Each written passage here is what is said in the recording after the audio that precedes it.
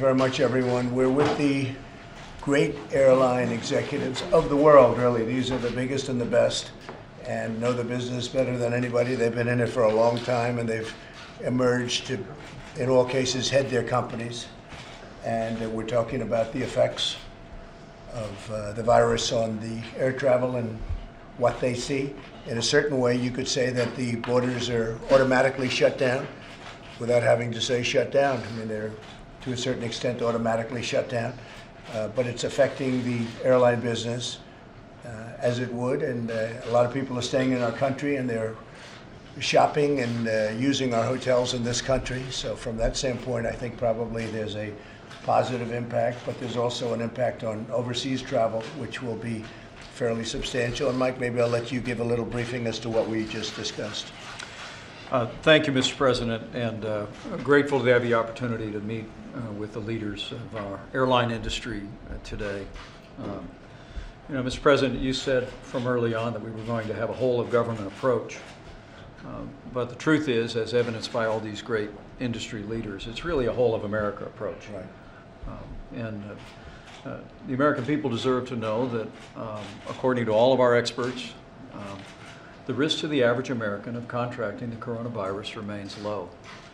And that's largely owing uh, to your decision, Mr. President, to suspend all travel from China into the United States and to quarantine all Americans that are returning. It's also owing to the tremendous cooperation of this industry, the airline industry. Because in addition to suspending travel from China, uh, you recently uh, made the decision uh, to designate as do not travel certain areas of Italy, certain areas of South Korea. Uh, But we also, at your direction, uh, worked with this industry so that now, as of yesterday morning, all passengers on all direct flights from all airports in Italy or South Korea are being screened on multiple times before they board any of these airlines. Uh, We're grateful for that, Mr. President. I know you are. Um, And uh, uh, everyone here should know that we're going to continue to follow the facts and the data. Uh, Dr. Birx is working closely with all of our health officials to determine what additional screening might be required uh, in the United States or in partners around the world. But our airlines are going to play a key role, Mr. President, in, in preventing the spread of this disease. Uh, And even, uh, uh, even earlier today, at your direction, we met with leaders of our nursing home industry to talk about the measures, uh, the increased measures to prevent the spread of infectious disease. We've sent new guidance out to nursing homes. We'll be announcing later today a new priority of inspections for infectious diseases. We'll be detailing that. We explained it to the industry today. And also on the issue of testing, Mr. President, uh, you've made that a priority. We'll, we'll have over a million tests in the field today. I spoke to several governors this morning that were grateful for the fact uh, that the changes you made this weekend through the FDA now make it possible for state health uh, clinics as well as universities around the country to be able to conduct coronavirus tests. But we'll also uh, be meeting this afternoon uh, with leaders of uh, our commercial laboratories to make a coronavirus test more rapidly, more widely available for doctors' offices, and medical clinics, uh, and, uh, and, and uh, consumers around the country. So, Mr. President, as you said, it is a, a whole of government approach, but in a very real sense, it's a whole of America approach. Uh, and I've already expressed, and I know you, you feel, a great deal of gratitude to our partners uh, in industry and in the airline industry for acting on your priority to put the safety, health of the American people first. Good, Mike. Thank you very much. I just want to add, I might, uh, and to go a little bit further, the Obama administration made a decision on testing that turned out to be very detrimental to what we're doing, and we undid that decision a few days ago so that the testing can take place in a much more accurate and rapid fashion. Uh, that was a decision we disagreed with. I don't think we would have made it, but for some reason it was made. But we've undone that decision. Uh, also, when people come in from certain areas, we're uh, doing checks not only at the site of takeoff but at the site of landing. So when they land in our country, we'll also do that's if the planes are leaving from certain destinations. Uh, I might uh, ask, Doctor, if you could, I'd like you to say a few words. You've been doing a fantastic job in just a short time. We haven't had much time, but you've really been doing the fasting, a really fantastic time, please. Thank you. Well, before you came in, Mr. President, we, we talked about which Americans are most vulnerable um, and the fact that younger Americans may not be as vulnerable. So we're really focused very much in that way, and I think the airline industry can help us also in any kind of screening required, particularly to protect our older Americans. Good, thank you. Thank you. Doug, do you have anything to say? Um, no, thank you for having us. Uh, thanks for the, the work we're, we're doing jointly to keep people safe. Um, we're proud of our team. Uh, we're proud of the work they're doing. Uh, we appreciate the aggressive containment efforts that the United States has done to uh, protect Americans and, uh, and the role we played in that. And uh, so we're, we're happy to be here and continue to uh, be interested in everything, anything we can do, um, as, and particularly as we move from uh, maybe aggressive containment to mitigation efforts, what, Right. what can be done there as well. Doug is the head of American Airlines, as you know. Maybe we'll go around the room. If you'd like to say something, please.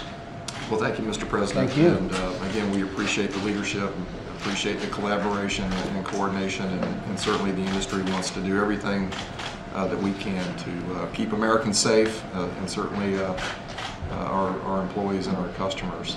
Um, We've we've stepped up our efforts to make sure the airplanes are clean and disinfected, uh, and uh, we work very closely with the CDC, and I think that's gone very, very well. Uh, So we've got the proper protocols in place whenever there is um, a sus- a suspected uh, illness. And uh, I think all that's working very well, where I think everybody's doing a great job and doing all they can. We appreciate the job you're doing. Thank you very much.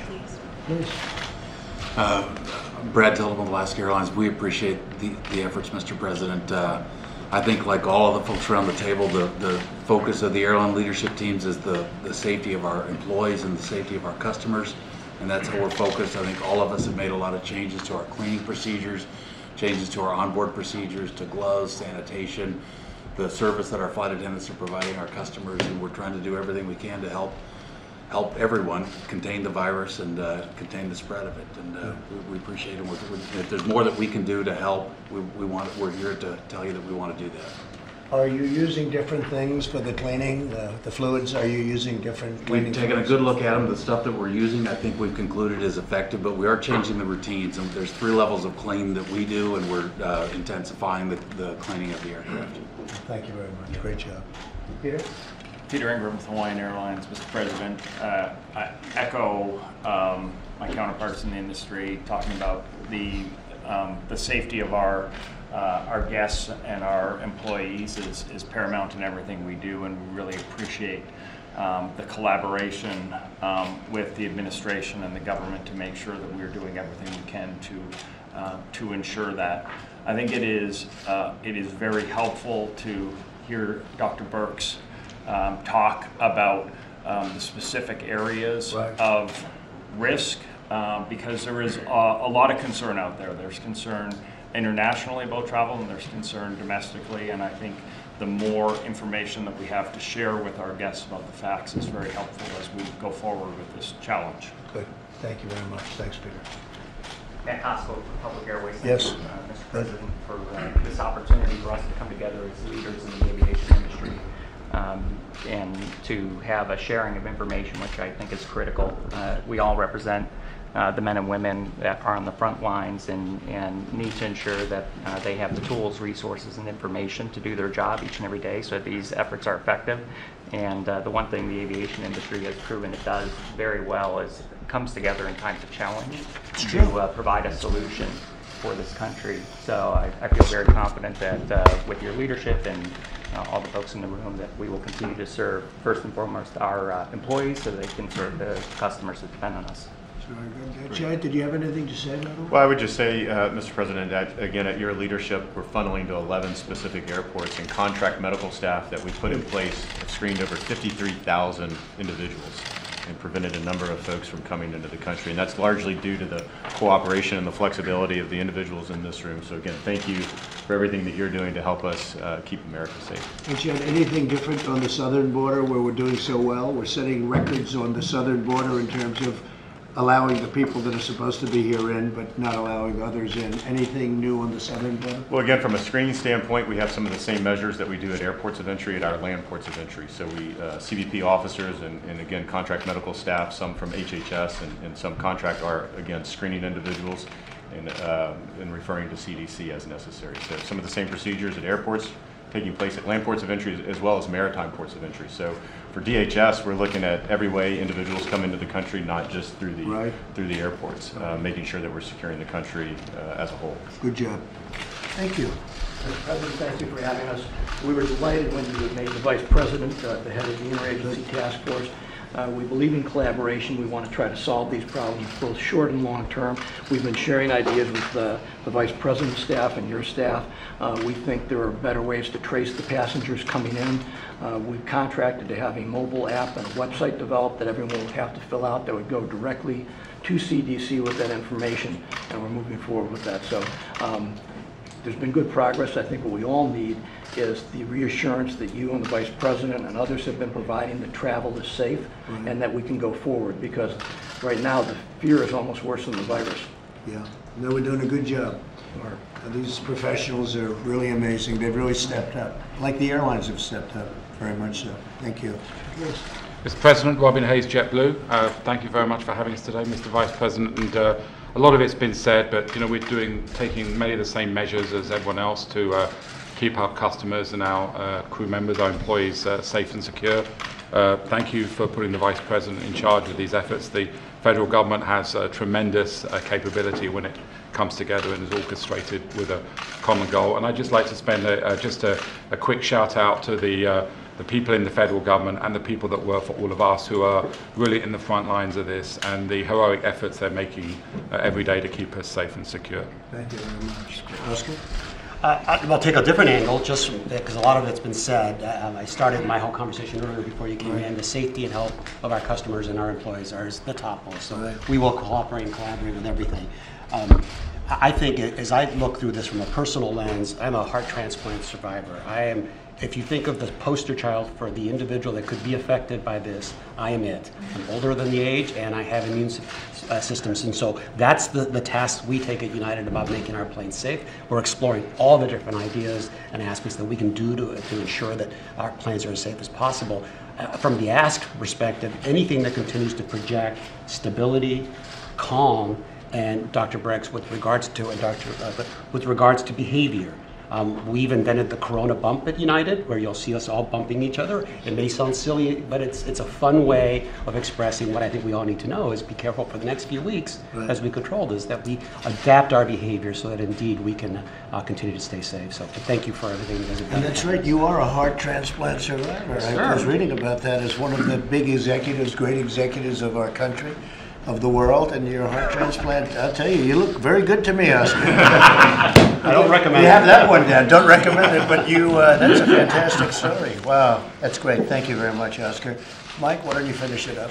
Well, thank you, Mr. President. Again, uh, the American people deserve to know that the threat of contracting the coronavirus remains low, according to all of our experts.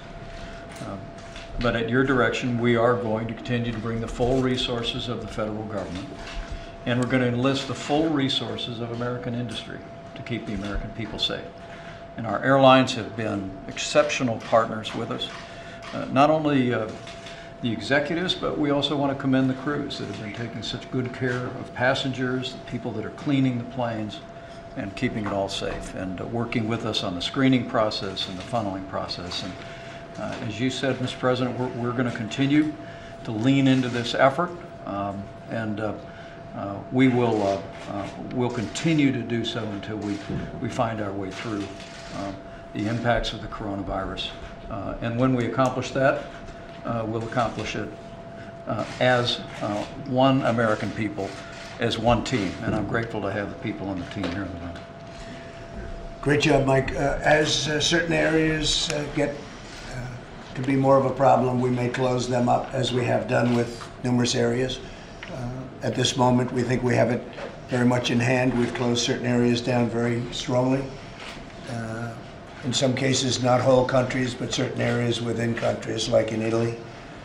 Uh, We are, uh, I think, doing a very effective job in terms of that. It's very important. Uh, The one thing that we were discussing before is you really don't know what the percentage is. Some people will have this at a very light level and won't even go to a doctor or a hospital. They'll get better. There are many people like that. Uh, Young people seem to be, you can't say immune to it, but they're certainly, the numbers are very small. Uh, And it does affect the uh, older people that, like the nursing home situation that we have on the West Coast, single nursing home, where we have a pretty big percentage of people. But as things go along, so we're trying to adjust the number, we're trying to see what the number might be. Uh, But if you add, uh, you know, many, many people that have it and don't know they have it, or they think they have a cold and all of a sudden they're recovering from it, I think that number will probably be a lot different number than the twos and even the one and a halfs that we're hearing. Uh, And I think that's an important thing for people to know.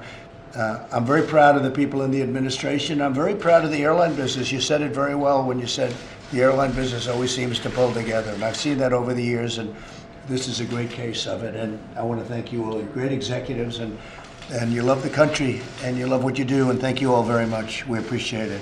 Thank you. Mr. President, are you considering giving any sort of financial support to the airlines to deal with that loss of business from overseas travel? Don't uh, ask that question, please, because they haven't asked it. So I don't want you to give them any ideas, or you'll end up heading an airline. He'll end up heading an airline. That's a pretty tough question.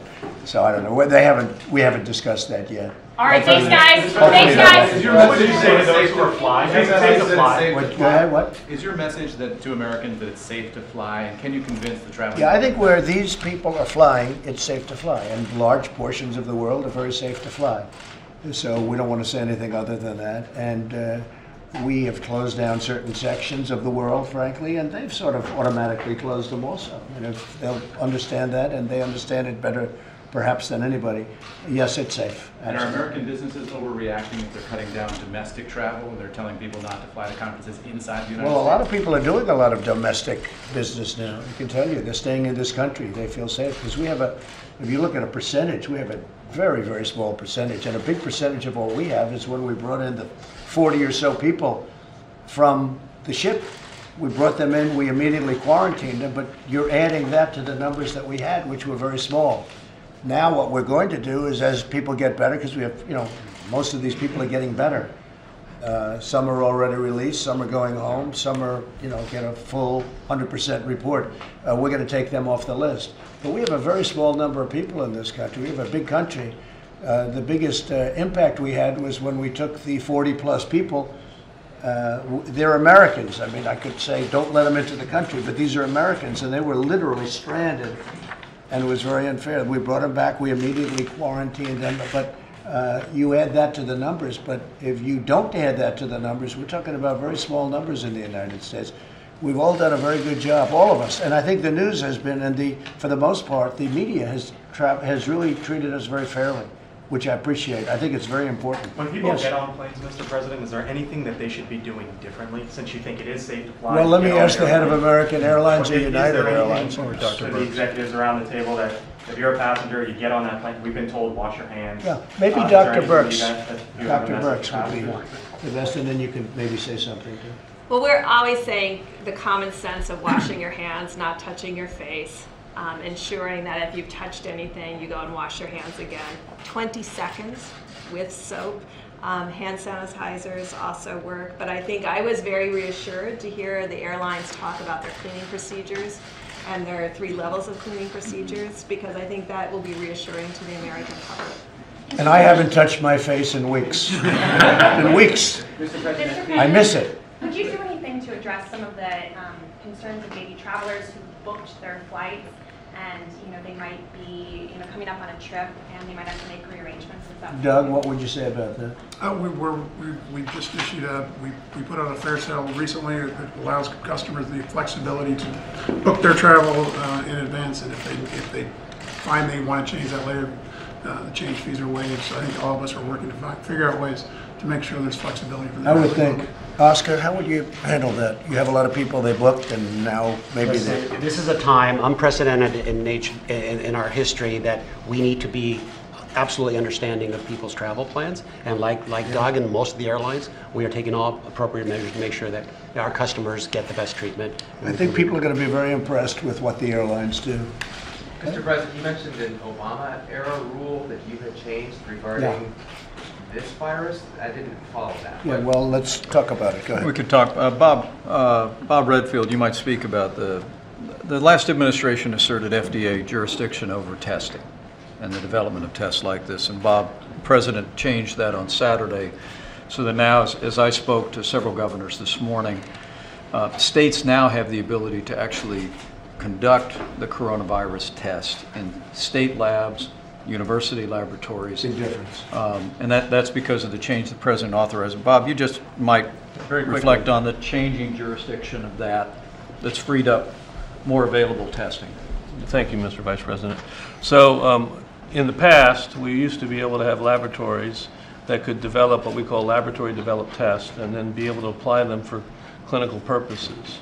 And in the previous administration, that became regulated. So that now, for someone to do that, they had to formally file uh, with the FDA. And what the president's decision did was uh, uh, allow that regulatory relief now, and that those university labs and those other labs in this country now can be fully engaged in developing laboratory diagnostics for the clinical arena, so the men and women in this nation can get access to, and the doctors to get to know the extent of HIV and the patients that they're caring for. It's really very, very important. It's what's changed the availability of testing overnight. It was a very big move, and it was a, uh, it was something that we had to do, and we did it very quickly, and now we have tremendous flexibility, many, many more sites, many, many more people, and you couldn't have had that under the Obama rule, and we ended that rule very quickly. Yes? Mr. President, on the contact tracing, can you explain what you're hoping to get from these folks? What more information do they need to track or share Chad. with the government? Go ahead, John. So what we're asking uh, for is additional pieces of information so that uh, the CDC, HHS, and others can track individuals as they come into the country uh, and as they continue on to their, uh, their final destination. And if we need to, from a health perspective, to continue to reach out, continue to track them, and to get in touch with them, looking for a few more pieces of, of information and data from them. Do you think you'll get resolution in this meeting today on that? I think we will continue to have conversations, but yes, we'll get there. Can I follow up on that question? The North Carolina case was someone who was at the nursing home in Washington State. Uh, Does the administration now have the contact information who are, who are with that person on the flight to North Carolina? Uh, That uh, public health evaluation is ongoing right now, and and we're working with the airlines and obviously with the Nar- North Carolina Health Department. CDC supports the local public health department to really work together to get all that information. It's in progress. But at this point, you do not have that, the the person, the passenger information of people who are on that flight? My understanding is we have the manifest. Now it's the the trick is to go find them, and that's why we're having this discussion. And much of that has been done already. All right, thanks, guys. Let's go. Thank you very much, everybody. Thanks, guys. Thanks for Let's go. No questions on the election? This has to be done. All right, thanks, guys. Let's go. Let's go. Come on, guys. Jennifer, let's About go. last night, you, you invited us, Mr. President. What did you think about? Well, I think. I think the election was uh, great last night. I thought it was great.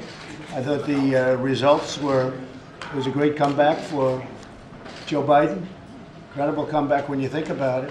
But if you would have looked, if Elizabeth Warren would have done what she probably should have done from their point of view, uh, he would have won, right? He would have won a lot of states, including Massachusetts, probably Texas, definitely Minnesota.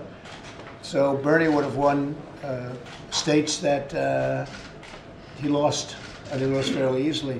But in particular, Massachusetts, I would say Minnesota in particular. I would also say Texas, and some others. So uh, had she, I, I put something out on it this morning. She was really a spoiler because other people got out, and those votes inured to Joe. And uh, those people really helped Joe, you know, by getting out early, by the couple that got out and did the endorsement. Uh, in the case of Elizabeth Warren, had she gotten out, uh, it would have been a very different situation, I think. Ele- It would have been a very different night. Just that one simple move. Had she left, you pick up Massachusetts, Minnesota, and probably Texas. And those are the three I checked. I would imagine there are others that he would have picked up too. So Elizabeth Warren was the single biggest factor in that election last night. Uh, it would have been a very different thing, and not in a positive way for her, in a very selfish way for her. She was very selfish from that point of view. Now, do I care? No, because we're just waiting to find out who we're running against. But when you look at it, pretty incredible. If she would have, if she would have gotten out and endorsed, even if she didn't, she didn't even have to endorse. I think there's a lot of bad blood there. But had she gotten out and endorsed, uh, he would have been uh, a lot better off. What do you think happens now? Well, now I think it's a very tough. Uh, I think it's tough. I think Joe has an easier path right now, believe it or not. Uh, I see Mini Mike just got out, and he's going to, you know, try and save face by putting some money into Biden's campaign, and we'll see what happens. I don't think that's going to have an impact. You know, you got to look. Money has to be spent wisely. One thing this whole thing has shown that you can't buy an election. It's a beautiful thing. Hmm. Steyer put in 250, 300 million dollars, and now who knows where he is? He's home probably licking his wounds. And Bloomberg put in probably a billion dollars, and you know, sometimes you just don't have what it takes. And I said to him, "It's not easy doing what I did, is it?" So it's one of those things, you know. But uh, it's going to be very interesting to think that this would have changed so much because if you go before Saturday before South Carolina. I mean, uh, he had, Joe had absolutely no chance, according to you people. But they used to say that about me too. Not as much though. I think I, I always felt I had a very good chance. But I'd watch and they'd say, "Well, can't happen," but it happened, and it happened pretty easily. Um, I think now it's. I think Joe actually would have the advantage now. You know, if you look at the states he's going to with Florida and others, I think he's got an advantage in those states. But again, had Elizabeth Warren endorsed Bernie, you're talking about a whole different subject. And that's not even a question. You're talking about a whole, because he would have gotten 80, 90, almost, I mean, he would have gotten most of those votes. So you're talking about a much different. What do you think of the stock market's reaction today? It seems like there's been a sigh of relief that. I think there. I think. Well, I've said from the beginning, it's partially this. It's a you know big part this, but it's also the fact that they didn't like seeing what they're seeing. But they don't like they don't like Joe either. Joe's become you know he's a lot of people are with Joe. If you look at those people, they're worse than Bernie in terms of being radical left. I mean, some of Joe's handlers, and that's what they are, is handlers. I want to be nice, but they are handlers. Some of Joe's handlers are further left than Bernie. That's pretty scary. So Do you think- it's going to be that way. Yeah. Do you think Bloomberg's money will be more powerful without Bloomberg himself in the race? And he said he's going to. Well, it couldn't be less powerful because look what a billion dollars did. He won nothing. I mean, he got so few delegates. It's incredible. Now he says I would say sending it against probably, well, I know now he's doing that because, you know, he's spiteful and he's a spiteful guy. I know him well. He's a very spiteful guy. He's very upset. Uh, he made a fool out of himself, to be honest with you, and it's uh, he's not too happy about that. I think the first thing he should do is fire his political consultants because I could have told, I know him, I could have told him very easily, you can't win. You can put two billion in, you can't win. Okay, thank you, everybody. Thanks, Brad. Let's go.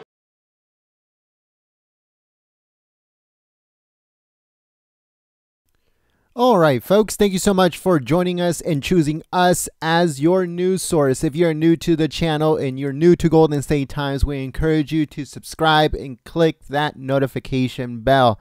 If you want to stay up to date on everything that is going on in politics with the president, the White House, the State Department, Pentagon, we encourage you to subscribe and click that bell. And also visit our website, www.goldenstatetimes.com. Again, that's goldenstatetimes.com for up to the second information of everything that is going on in politics. Thank you so much, folks. And if you missed our previous video, they should be coming up on your screen. They're interactive. Click on them, they'll take you to the video you might want to watch. Make sure you give it a thumbs up and you share it on social media. Later on today, there's going to be a press conference regarding coronavirus at the White House press briefing room. So stay tuned for that live here at Golden State Times. We hope that you guys join us for that, and we'll see you very soon. Also, let us know what you guys think about this in the comments section below. Sound off in the comments. Thank you so much, and I'll see you soon. Peace.